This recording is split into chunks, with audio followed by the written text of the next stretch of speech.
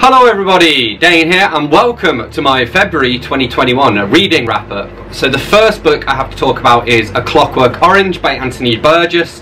I listened to this on audiobook because Susie and I are doing a video on it for Lord Literature and Madam Media so I'll link to that channel below. I have read A Clockwork Orange before but it has been a fair old while so I re reread it via audio and then watched the movie as well. I do think I prefer the book to the movie although they're both pretty good. I would give like the movie is like 3.75 and then the book is a pretty solid 4 out of 5 five. Um, I think if you like things like Catcher in the Rye, you might like it. It's like Catcher in the Rye, but with violence and also like I mean what I really enjoyed about it is like this moral question of whether the treatment uh, is worth it like what they put Alex through they you know it's most famously got his eyes held open like this and he's forced to watch this footage um, and it's like all of this question of whether does the does the end justify the means, especially when the state's involved, and questions about free will and stuff. So I thought that was cool.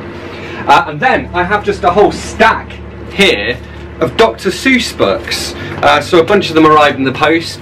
I'm going to give them kind of an overall rating and just tell you which ones I read. Uh, they were all pretty good, uh, in between 3.5 stars and 4 out of 5 stars. And the ones that I got were, I had trouble in getting into Sulla Sollew, Hunches and Bunches, Horton Hears a Who, Hop on Pop, One Fish, Two Fish, Red Fish, Blue Fish, If I Ran the Zoo, Dr. Seuss on the Loose, and to think and to think that I saw it on Mulberry Street and oh I dropped that one too early. All the places you'll go.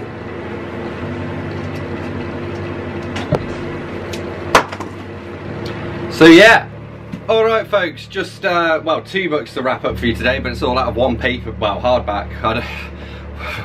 Great start. Uh, so I read Foundation and Empire, 3 out of 5, and Second Foundation, 3.5 out of 5 by Isaac Asimov.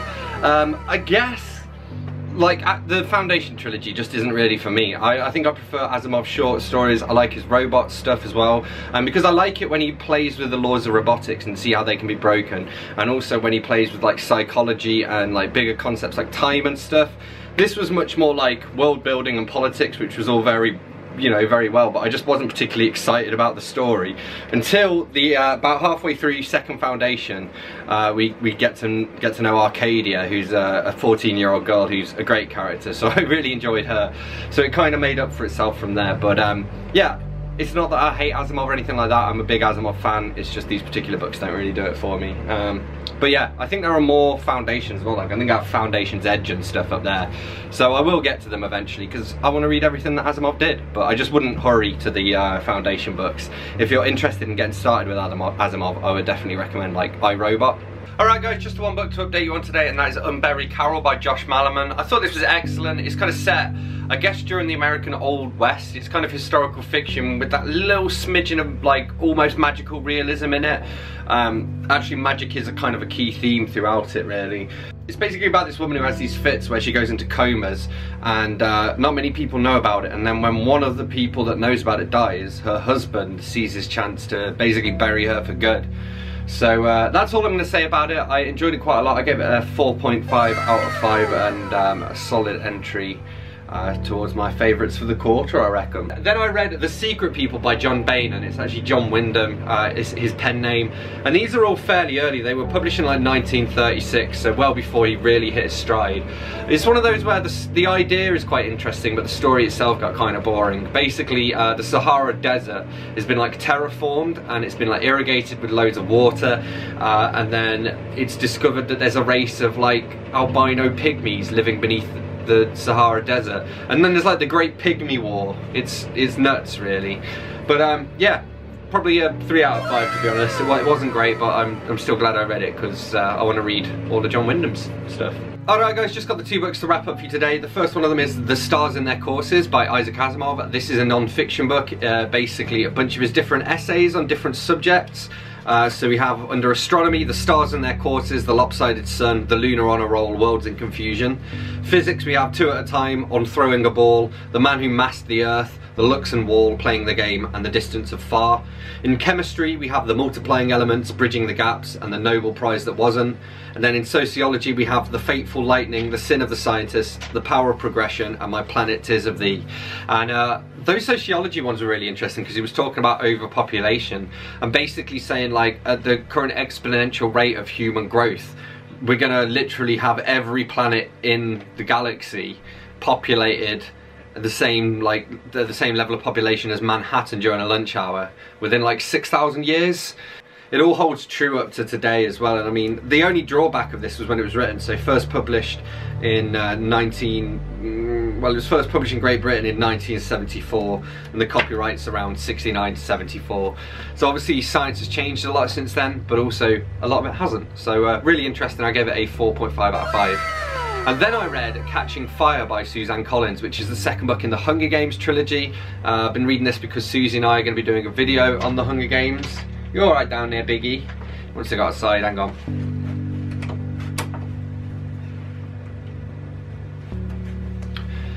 And uh, yeah, I mean, my thoughts so far on it have been pretty consistent with, with, with, my thoughts when I first read it. I will say I've been enjoying hearing it narrated in an audiobook by a professional audiobook narrator slash voice actress um, because obviously it's written in first person from Katniss's point of view.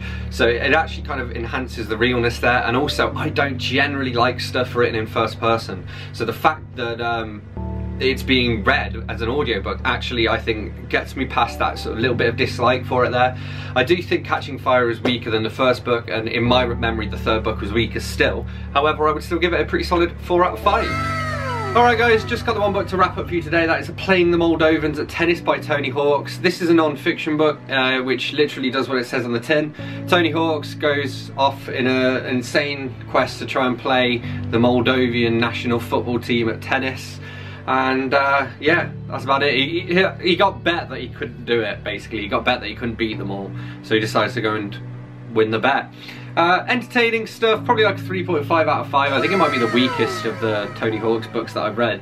He previously did Round Ireland with a fridge where he tried to go around the outskirts of Ireland with a fridge while hitchhiking. He writes about these books where he goes off on these challenges doesn't he Biggie? So his friend that he was watching England's football team play ow play the Moldovan football team and he bet his friend that uh, he could beat every Moldovan player at tennis. So he ends up tracking them all down and beating them all at tennis. It's alright, uh, probably the weakest of his books. He also did Round Ireland with a Fridge, where he went Round Ireland with a Fridge. And uh, the other book that he did was One Hit Wonderland, where he um, he'd previously had a one-hit wonder and so he tried to write another one basically. Overall, quite humorous, 3.5 out of 5, it was alright. And then we have Giant's Bread by uh, Agatha Christie, writing as Mary Westmacott, uh, described as a spellbinding novel of romantic obsession. I suppose it does have romance in it, but I mean, I'm not a big romancy reader. Um, but it does have some cool other themes, so like the main character is a musician, uh, who, to begin with, he hates music. He's actually afraid of a piano and calls it the beast. Um, but he kind of learns that he likes things like orchestras where all the different music comes together, you know? But then he goes off to fight in the war, um, so lots of different themes like that in here, and uh, yeah, I, I, I, thought it was alright. I gave it probably a strong 3.5 out of 5. It was on, on course for a 4 to begin with, but um, it sort of lost momentum a bit near the end. But it did what I quite like uh, in books that, that like Stoner by John Williams was similar, where it told an entire life from start to finish, I quite like that. So yeah. Hello everyone, a couple of books to update you on today. The first is The Naked Sun by Isaac Asimov. So this features, what's his name, uh, Elijah Baley and also R. Daneel Olivaw, who is uh, a robot and it's like a robot and human detective team essentially. So uh, it's kind of a cozy mystery set in space. Um, they go to the planet of Solaria and we see all the differences between their sort of civilization and our civilization. So on Solaria, people kind of don't touch each other and that sort of thing. And they kind of communicate through like almost like holograms basically. So um, they live on these huge sprawling estates with loads of robots but don't actually see other people uh, in person. And we kind of see the effect that has on society.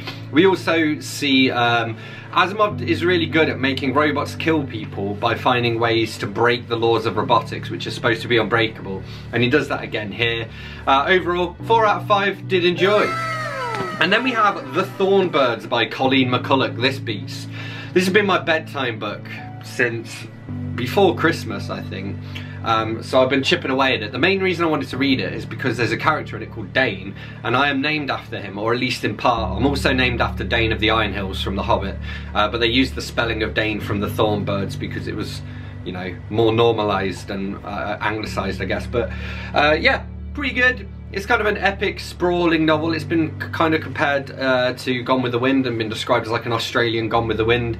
It spans the entire lifetime of this woman called Meggie. Uh, Dane is actually her son. Um, and she has him she falls in love with a priest basically and there's this like forbidden love thing she ends up getting married uh, to a husband that she doesn't love there's a big fire that's very dramatic uh, yeah definitely interesting I was gonna say definitely recommend but I don't not to everybody if you like those really like long, uh, very sort of slow plot but very character driven literary fiction novels. Uh, I think you'd like it. I'm glad that I did read it and um, it's certainly an impressive achievement just to have written a book like this I think. Um, I'd probably give it, based on enjoyment, it's a 3.5 out of 5. But uh, yes, ticked off at last. Alright guys, got a few books to update you on today. Uh, I have actually filmed some wrap-ups, but they went missing, the files, because of my hard drive. Long story. Anyway, I reread The Hunger Games Mockingjay by Suzanne Collins via audiobook. That was a 3.5 out of 5. I do feel with that series as though it sort of slowly goes downhill, so it starts really strongly with the first book. The second book's pretty good, and the third book's just okay. But hey ho, it was enjoyable to reread that. Then I read The Rest of the Robots by Isaac Asimov. So this is basically a collection of robot short stories. It's all of like the overspill, all the stuff that he couldn't include in I, Robot. So if you read I, Robot and The Rest of the Robots, you have, I think, read all of Isaac Asimov's short stories on robotics. I may be wrong. Uh, but yeah, cracking read. I love I, Robot. It's probably one of my favourite short story collections ever. Uh, right, Rest of the Robots, pretty good. I gave it a 4.5 out of 5, but a weakish one. Then I read The Ballad of Songbirds and Snakes by Suzanne Collins, so this is like the prequel to the Hunger Games trilogy, uh, and it follows President Snow as a young man as he participates in the 10th Hunger Games, kind of as an attempt to humanize him. I've been saying it's a lot like uh, the when you see uh, Darth Vader as Anakin Skywalker in the uh, Star Wars prequels, and he sort of slowly becomes Vader throughout them. However, the pacing was a bit off because he's just quite nice until right at the end when he just turns into an asshole. Uh, But uh, yeah, the first two thirds of it were good, the final third of it not so good. I gave it like a, a probably a weak 4 out of 5. Then I read Kirk Sandblaster Faces the End by Oli Jacobs. This is science fiction, humorous sci-fi. It's actually the last book in a series. Ollie is an indie author. He used to live in High Wycombe, although he now is in uh, Southampton. And this is the final book in the Kirk Sandblaster series. Kind of brings it all to an end. Kind of emotional in some ways. Uh, pretty good read. I would say it's a strong 3.5 out of 5. Then we read then I read The Burden by Agatha Christie. That was a 3 out of 5. Um, oh, here we go. We're up to the point... Ah, we're up to the point where I can show you the books now. So this is Kirk Sandblaster Faces the End. Then I read uh, The Burden by Agatha Christie, uh, although she published this under her pen name of Mary Westmacott. Uh, what does it describe itself as? Uh, a story of consequences when love turns to obsession.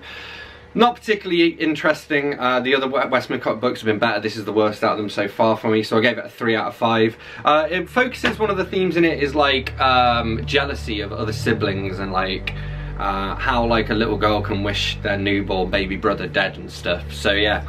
Then I read Terry Pratchett, Slip of the Keyboard, in his own words, Reflections on Life, Death and Hats. This is a bunch of Terry uh, Pratchett's non-fiction collected. It also includes towards the end, uh, what's it called? Uh, Shaking Hands with Death. Uh, which is a, a, transcript of a lecture that he gave. I've actually read that published as its own book as well, so I skipped the reread here, even though it is very much worth reading.